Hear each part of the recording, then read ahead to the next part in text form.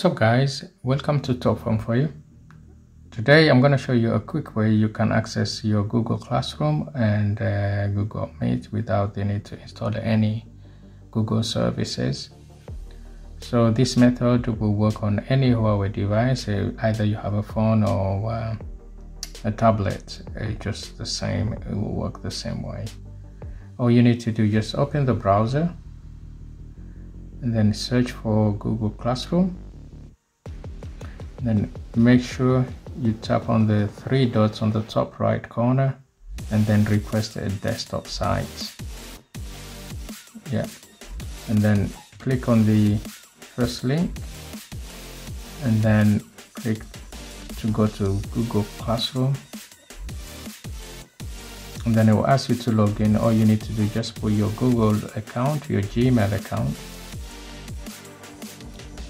once you put your Gmail account and password, you just tap on sign in. And there you sign into your Google Classroom.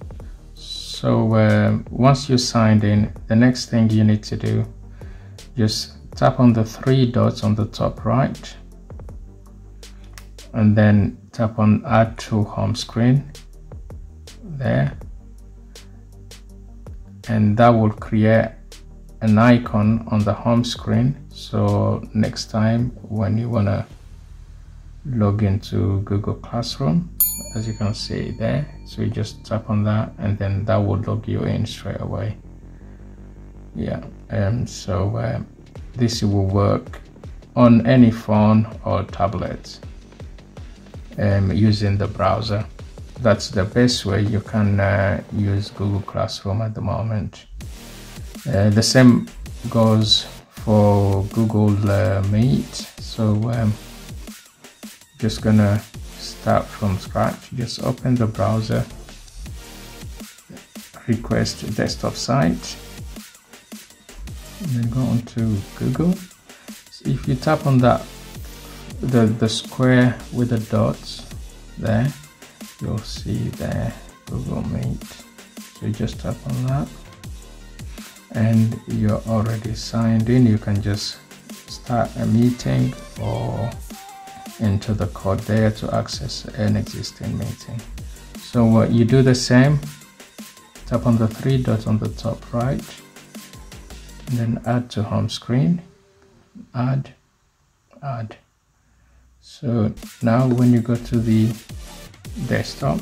On the home screen you'll have the two icon there. Okay using google meet um, if you have um, an icon put on the home screen every time you open it it will try and open the web app and then it won't work. So uh, all you need to do because as you can see there it's on the de desktops there but you cannot turn it on on that screen yeah if you're trying to switch it on it won't work. So all you need to do just go home tap on the home and then load google and then now you can go on and switch the desktop site then if you tap on that and then google meet and then you're up and running. So that's the best way you can do. So uh, you can either access it that way or every time you want to access the boom it just load. So if that's closed. And you want to access it just open it and then open google and then request to the desktop site then tap on the dots there and then access it that way. That's the quickest way. So to view a full video with all the apps I've got installed and the a app store I used to install them and you can click on the on the link here. Yeah or check on the description for a full video. Thank you for watching and uh, I'll see you on the next one